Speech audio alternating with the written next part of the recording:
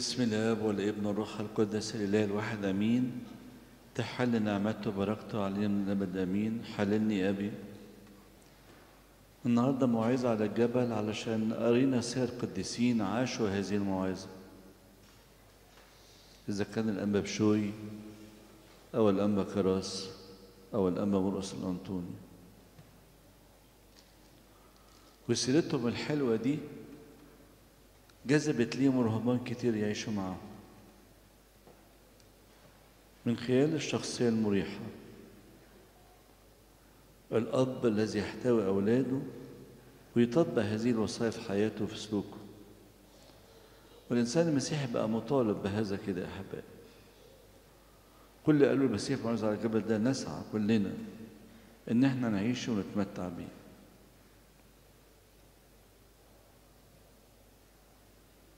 البابا شنودة كان مسافر رايح رحلة رعوية لأمريكا. وبعدين المضيفة قالت له أنا عايز أتكلم معاك شوية ممكن؟ لا تحت أمرك يا بنتي. خلصي التاسك بتاعك. يبقى عليها واجب على الطيارة. وبعدين تعالي نقعد نتكلم مع بعض شوية. فقامت بالواجب بتاعها. المفروض بتعمله. وبعدين جت قعدت جنبه. كلمت معاه شوية سألته شوية حكت له حكت له على بعض مشاكل عندها.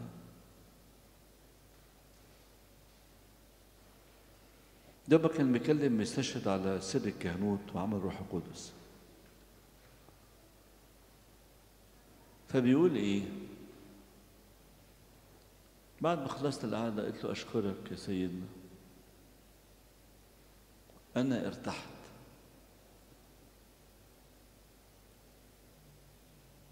وهي النقطة اللي عايز أتكلم معاكم فيه النهاردة. الإنسان الذي يعيش هذه الوصايا لأهل المسيح في موعظة الجبل يبقى إنسان مريح. لكل الناس تتعامل معاه. والإنسان المسيحي لازم تبقى شخصيته كده مريح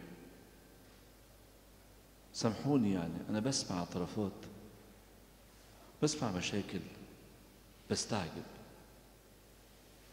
بستعجب إن في شخص مسيحي أو إنسان مسيحي يبقى ده سلوكه مع مراته مع أولاده مع أخواته مع أي حد في الدنيا. ليه؟ عشان بعيد عن الوصية. طوبة شوف النهارده المسيح قال كم طوبة؟ طوبة للشخص الوديع. طوبى المسكين بالروح. اللي بيحسن على خطيته. فكر في خطيته مش خطيته خطيته غيره.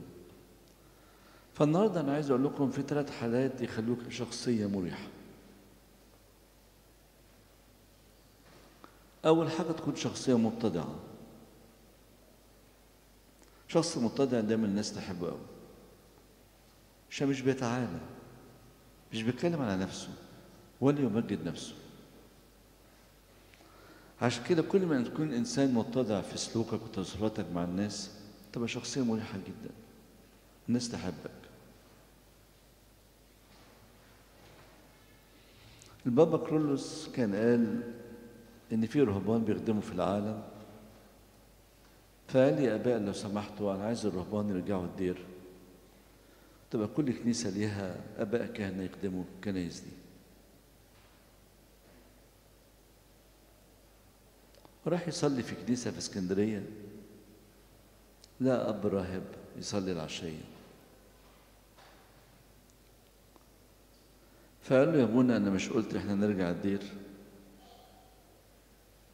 فقال له حاضر يا سيدنا أنا هرجع الدير بس هصلي العيد في الكنيسة دي وهرجع الدير.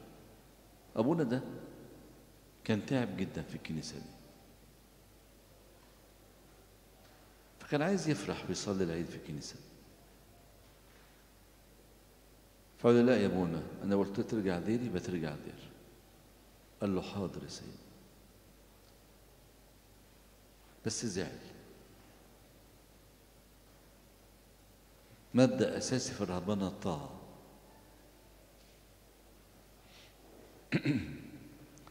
البابا كان تاني يوم هيصلي قداس في اسكندرية.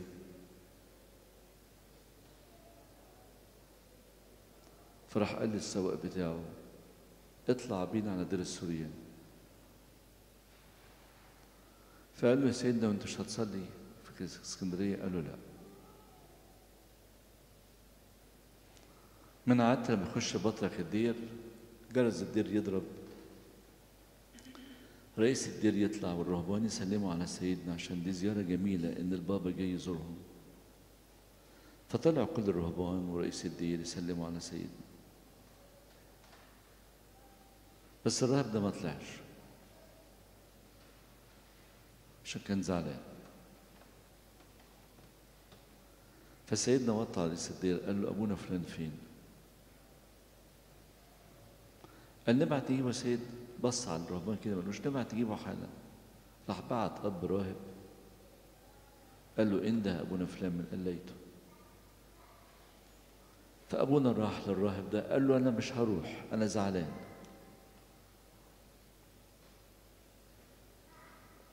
فطبعا الراهب رجع مكسوف. فوطى على سيدنا كده بصوت واطي بيقول له أبونا مش عايز يجي. فالبابا قال له سعرف قال هو زعلان مني؟ أنا أروح للحد قليته يا يا سيدنا حد قليته دي لما تعتذر لي الأول أبقى إن أنا صالح لما تجيلي الأول أبقى أفكر في الموضوع ده. لما تقول إنها غلطانة إيه ده؟ إيه ده؟ إيه ده يا أحبائي؟ إيه ده؟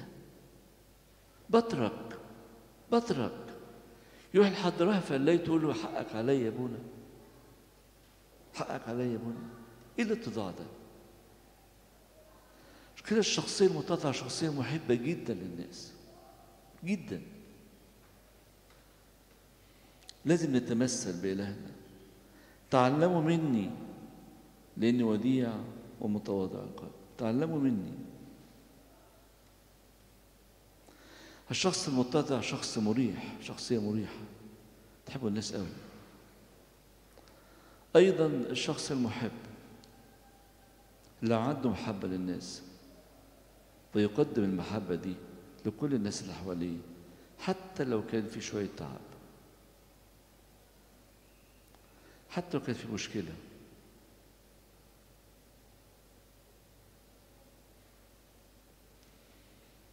أنتوا معانا حاضرين ناس كبار في السن يعني حضرنا الأحداث دي. لما كان الشيخ الشعراوي بيتكلم في التلفزيون اتكلم بطريقه كتير قوي علينا وعلى امثال من عندنا بطريقة مش حلوة.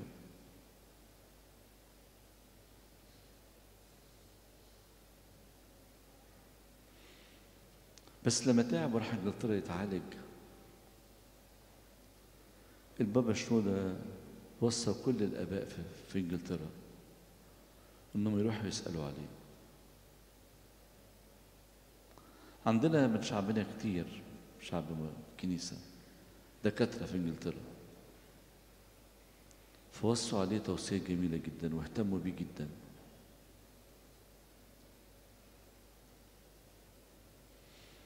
عشان كده راجل رجع مكسوف.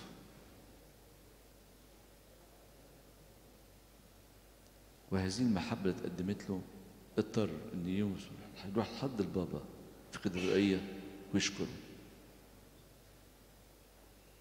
مين عنده محبة كده يا أحبائي؟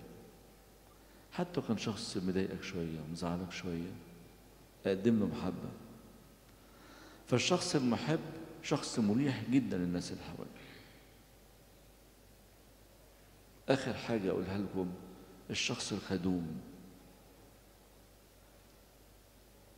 على قدر استطاعتك اخدم الناس اللي حواليك. كل ما تخدم الناس اللي معاك وتساعدهم في هذا الأمر كل ما هم يبقى شخصيا بتحب الناس بتحبك جدا عشان أنت مش بتفكر في نفسك بتفكر فيهم بتقدم نفسك ليهم. فالنهاردة بنقول يا رب زي ما كان الأنبا بشوي والأنبا كراس والأنبا مرقس الأنطوني أباء حلوين. استطاعوا إن هم يخلوا كل كتير من الأباء يحبوهم يقربوا منهم. يعيش تحت رجليهم. خلينا إحنا كمان شخصيات مريحة. لأي إنسان بتعامل معاه خلال اتضاعي من خلال حبي خلال خدمتي اللي أقدر أقدمها له على قد ما أقدر. على قد ما أقدر. شكرا ربنا قال كأس ماء بارد لا يضيع أجره.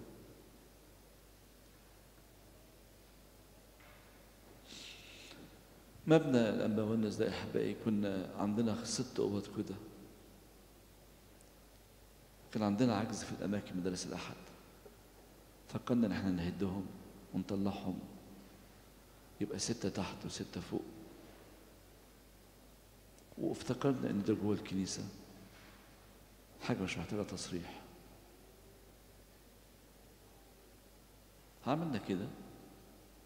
فلقينا بعد كده حد من الاسم جاي. وقال ممنوع تعملوا أي حاجة. غير لما تاخدوا موافقة من الحي.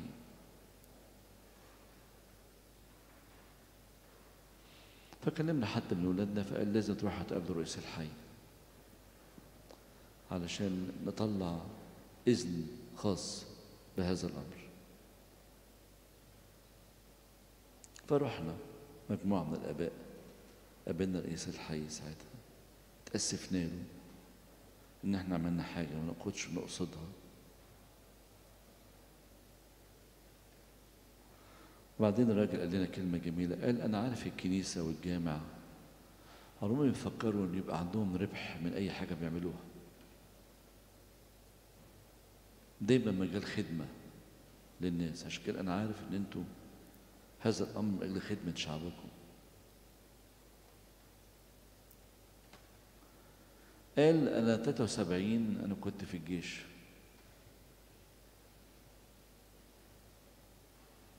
واتصبت واتجرحت جرح صعب قوي وعسكري كان اللي معايا كان إنسان مسيحي حلو ما يختلفش عنكم. أنا قعدت أنزف. والعسكري دوت شالني أكتر من سبعة كيلو. وكل شوية يقطع من هدومه ويربط فيا يقول يا ابني أنا مش قادر خلاص امشي أنت. يقول له مش هسيبك يا فندم.